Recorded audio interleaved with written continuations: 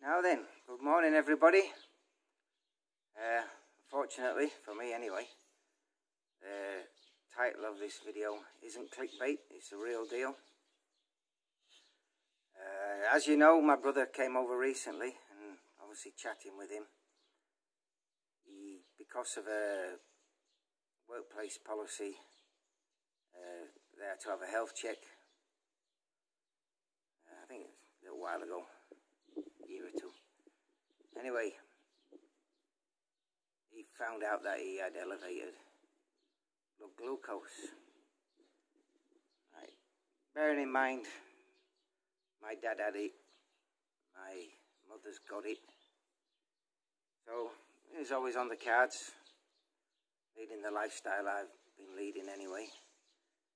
It was uh, just a matter of time, I suppose, before I de developed uh, type 2 diabetes. How do I know that?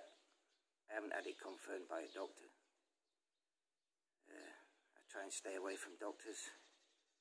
I'll self-medicate wherever possible, but why, how and why do I know I'm more or less type 2 diabetic? Well, recently I purchased blood pressure monitor. My blood pressure's normal. It's pretty good. Not bad at all. So I thought, well, I'm not so bad. But when I was with my brother down in Buriram, he's got a blood glucose test kit. Tested me when I was down there and I was I was high. So when I got home I ordered test kit from Lazada. Chinese, cheaper. The, he, he paid quite a lot of money for his. His Accu-Chek. But um, I went for a Chinese one anyway. It's basically this machine here. You've got your little pen, which you put the needles in. You've got the meter here, where you insert the test strips. Anyway,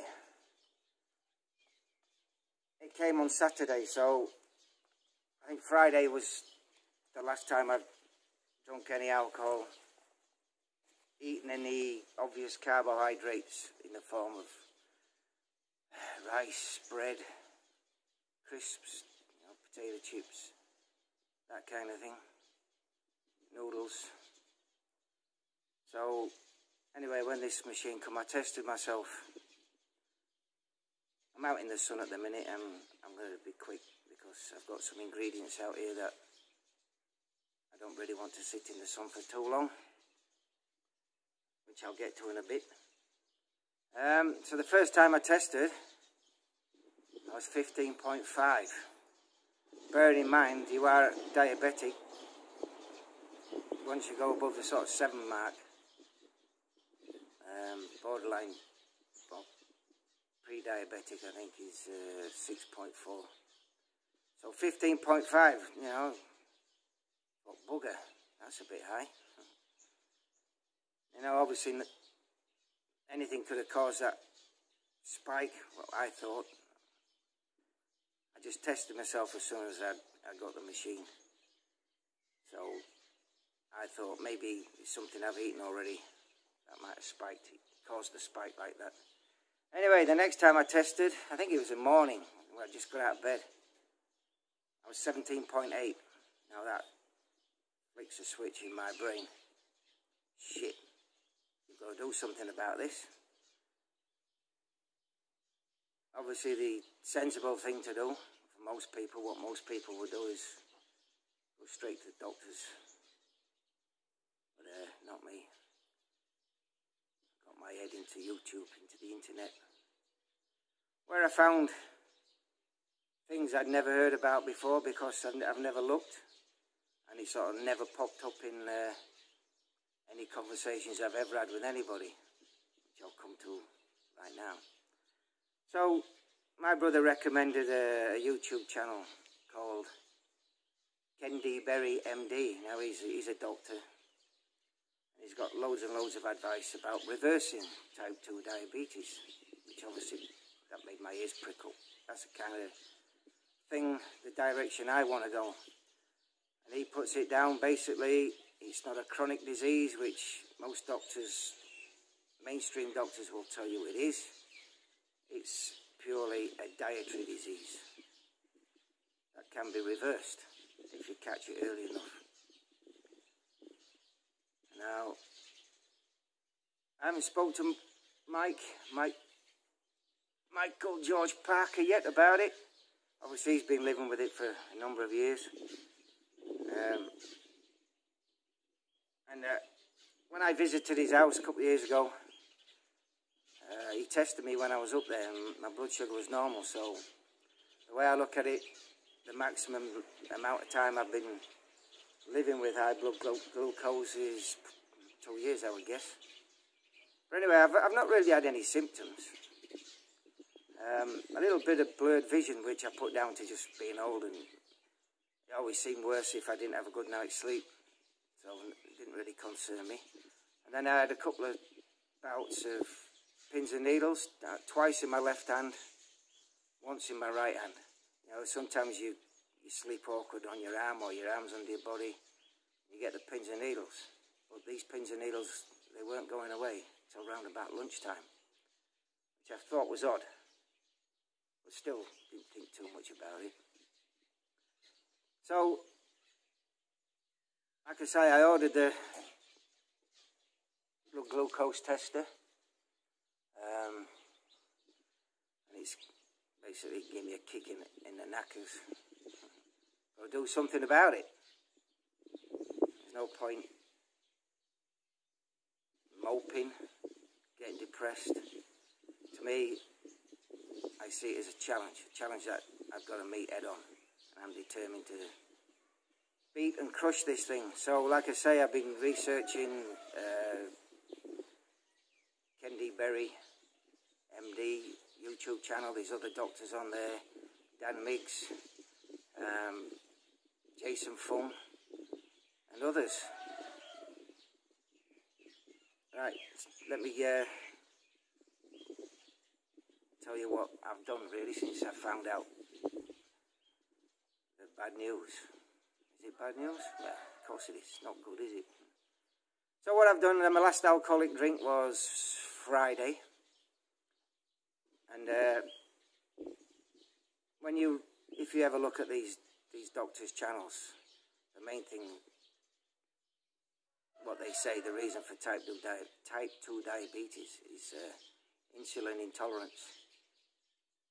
So your body basically lives off two fuels, and there are a couple of others, but mainly glucose, sugar, dextrose, sucrose, lactose, Name it what you will, but it's basically sugar. And the other one is, of course, body fat. What your body prefers to feed, because it's easier, I suppose, for the body to feed off uh, sugar. And any excess sugar in your in your system that your body doesn't burn virtually straight away stores as fat. So if you've got excess amounts of glucose, which gets stored as fat, your body's never going to burn fat unless you cut down the glucose, the sugar.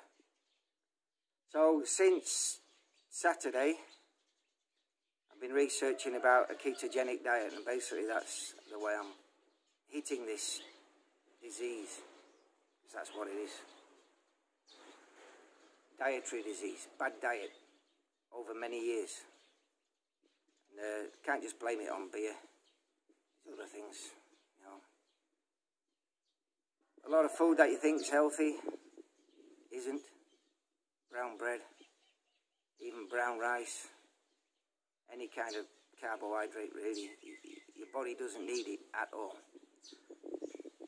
The only food stuffs your body needs is fats and proteins. Everything your body needs is in there, and minerals, which I'll come on to in a bit from the products I've, I've been buying.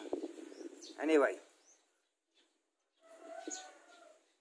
cut a long story short, I've uh, embarked on a ketogenic diet. and I've already hit ketosis, which is basically I'm burning body fat now, as I, I've got very, very, very little glucose in my system, and the glucose I have got is probably being made by my liver. But uh, like I say, I am in a state of ketosis. I know I am because I'm, I've just been suffering ketogenic flu or keto flu, headaches, nausea, uh, lethargy. I was out on a run yesterday morning. Um, I felt really good. Since I started this diet, I've, I've dropped down. I, I let myself go a little bit because I have been ill with flu. And when my brother coming over, obviously you've seen me fish and chips and big breakfast at Mel's place, the Swan in Buriram. Let myself go anyway, I went up to 96 kilos. So since Saturday, since I've been on this diet, and I'm, I'm on this diet, which is a very low carb diet, high fat, um, low protein at the moment, because protein has got sugars in it. And I'm also fasting. First day I fasted was 21 hours, and then two days since, 24 hours each time. So that's basically just one meal a day. Wait 24 hours before my next meal, and even they, you know, last night I just had a two boiled egg salad with lots of greens, um, tomatoes, olive oil, made a dressing with olive oil, um, pink Himalayan salt, which puts the minerals back in your body, coconut cider vinegar, which I'll show you in a bit. So yeah, I'm in a state of ketosis. I had ketosis flu yesterday, really bad. I was on the run. Felt really good, then it was like I hit a wall. Started feeling sick. And uh, yeah, that's what I did.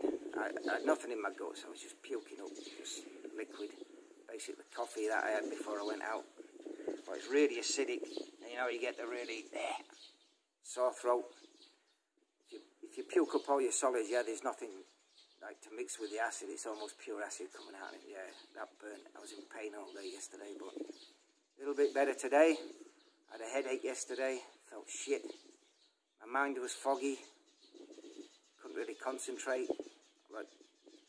That's pretty normal when you go into keto flu, I guess.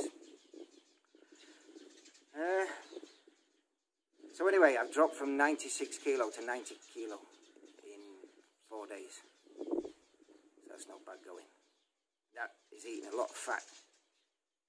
In the form of, I'll show you the products, proper lard pork fat. Cooking with that one ingredient I haven't brought out um, is 100% pure coconut oil, cooking oil. So I've basically been living on duck eggs. And obviously they got really rich, fatty yolks. Loads of cholesterol, which isn't bad for you, it's good. All the advice we've been getting over the decade, every, uh, anyway. If you research keto diet, you'll find out they're really good. And the white whites of the egg has protein. The yellow in the egg has all kinds of goodies in it, all kinds of amino acids, etc., etc. This one, coconut cider vinegar. It's high in potassium. It's got the mother in it, which basically is why it's cloudy. Really good product. So these are all zero carb products. And then I've got Himalayan pink salt get your minerals from. And if you start feeling hungry when you're fasting, just dab a little bit on your tongue. Takes away the, the hunger pangs. And then other oils that are really good to eat is obviously extra virgin olive oil and I've got a great big can, 5 litre can there. It's Spanish, so uh, it's 100% extra virgin olive oil. 5 litres, I've splashed out on that, but I got it for 860 baht delivered, which I think is pretty good for 5 litres. Uh, not a lot to say really, I'm, I'm just making, what time is it now? I don't know. Probably about 10.30, so I ate, I ate yesterday, four o'clock. So I've, I've had 18 hours fasting already. I'm, I'm not hungry. When you eat, when you eat, actually eat a keto diet, because you're eating so much fat, it satiates um, yourself. It just turns off the hunger receptors. It's not like, you know, when you're eating car uh, carbohydrate based diet, such as rice, etc. You know, you, you, feel full after a, eating a rice meal, but, you know, an hour later, you, are hungry again. And it's like when you're eating crisps, you can eat, you know, I can anyway, two, three bags, no problem. Cheetos, you name it your body never gets a signal that it's full. And it gets hooked on all this stuff, and this is basically why you get the keto flu. You're breaking the addiction cycle. But yeah, since, I, have not missed it at all. You know? I opened the fridges, bottles of Coke and what have you in there. That's the biggest one, you know. There's nothing really you have to deprive yourself food-wise because there's lots of great food you can eat. You can eat all the fat, know, belly pork, bacon. That's uh, Mimi's dad. Crazy. Get that every day. Brilliant, eh? Every time he rides by on the motorbike. anyway, I digress. So, yeah, I mean, all these great salads, you pile on the, the fat, the virgin olive oil, the, you know, I make a good dressing. I did the salad I had last night. Good dressing with virgin olive oil and uh, coconut vinegar, sea salt, and put some oregano herbs in there. Tasted good. Um, raw cabbage, raw broccoli, uh, bok choy,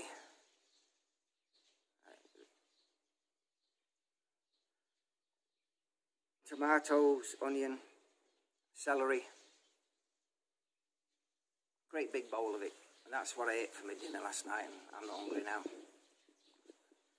And if you do feel hungry, like I say, have a dab of sea, uh, the pink salt on, on your tongue. Um, might drink vinegar water. Sounds awful, but know, you just have to do it. It's just basically water with coconut cider vinegar in there. Sometimes I'll use lime juice. Um, so wake up in the morning, have a coffee, black coffee, nothing else in it.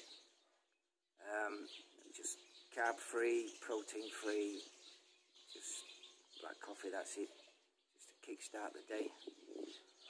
Um, and just don't feel hungry at all because of the high fat diet, which is a good thing. I hate to be starving. So I look at this as a challenge to be met head on. I'm not going to give in. So what results have I had apart from losing, what, six kilo body weight? Probably the majority of which is water. You know, I'm not that naive. So, anyway, like I said, my blood sugar peaked at 17.8. Um, it's now at 8.8. That's a good drop. That's within four or five days. I had it down at, I think about the same. Was it nine? round about nine anyway. I, will go through the results on my machine. Uh, it went back up to 12.8 one day and then back down to 10 and back up to 12. But like I say, it's down at 8. But that's probably because my body was still burning um, glucose, what my liver was producing. And that is the aim, really, of, of this exercise is to lower insulin levels because it's it's insulin it's a hormone created you know secreted by your pancreas. That's what causes the problems. The pancreas senses that your body's high in sugar and its response to it is to produce more and more and more insulin it's like a spiral unless you address it and I know about taking metformin I've done all the research basically what the all that does, it just treats the symptoms. It doesn't actually um, address the, the real problems, the disease itself. So there I am. I'm, I'm, I'm on a keto diet. I'm in ketosis right now. I'm losing weight. my blood sugar's dropping. Obviously, I've got to. That, that's one thing I did do. I thought, hey, I'll just put this Chinese machine. It's got to be out. I can't be that high. So I tested Mimi, and you'll see on the results when, when I film it. I tested her, and when I tested her, she was 5.2. So uh, that was another wake-up call. It's not the machine, it's me. Alright, I'll end the video here. It's enough waffle. Um, I've got some banana peppers that I've just halved and de-seeded. I'm going to fill those up with cream cheese. Put a little bit of spice on it. I, I might put a bit of cheddar on there as well. Put cheddar in the bottom, cream cheese on the top. Uh, bit of spice. I'm going to roast that in coconut oil uh, with some tomatoes. Um, that's probably going to be my meal for today. Uh, you know, side salad with an olive oil dressing. So, you know, you can eat good. Things you're really restricted on is, is drink, basically water. I'm not going to, you know, I'm not going to bother putting these stevia drops and all that crap in there. I don't really crave sweet drinks anyway. You know, I don't crave them. I just like them. Uh, you know, I could drink Diet Coke, but apparently that has a psychological effect on your body to produce uh, insulin, even though you're not you're not putting any glucose into your bloodstream. It's like a psychological effect, I think. But uh, I, I say at the moment, I'm just drinking water, water with lime juice, or I've got water in there right now with coconut vinegar in, cider vinegar. Right. So my battle's begun. See what happens over the coming weeks. I'm enjoying it actually.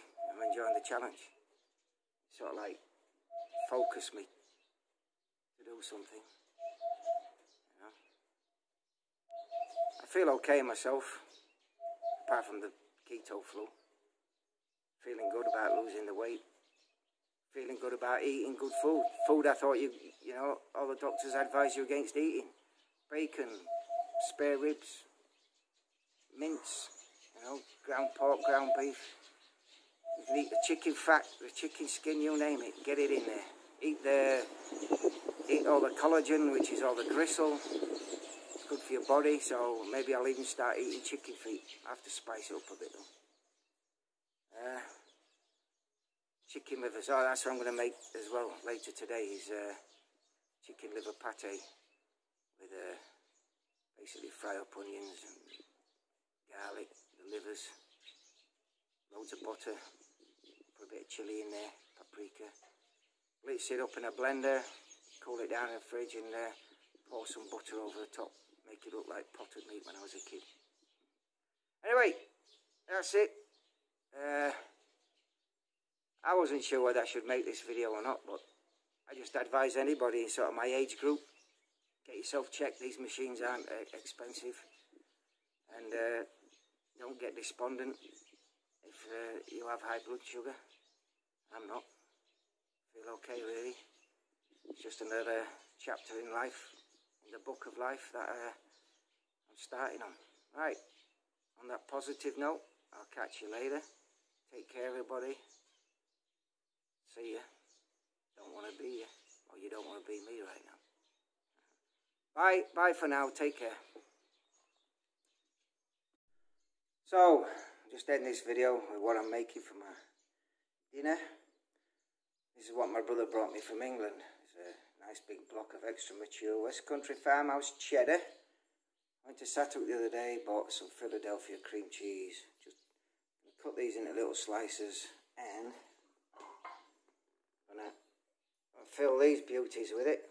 They're sitting on coconut oil now so they don't stick when they start cooking. And I'm to put tomatoes in there. Might go out and find some aubergines if there's any around. Uh, I got other vegetables and salad bits in the fridge I could use as well. Right, so that's it already. I'll just end this video now. Just finished off my uh, bottle of Carolina Reaper chili sauce. Nice knowing you. I'll put some more, I might put some onions and maybe some shallots and garlic in there before I actually roast it. Okay, happy days. See you later. Take care everybody. Bye for now.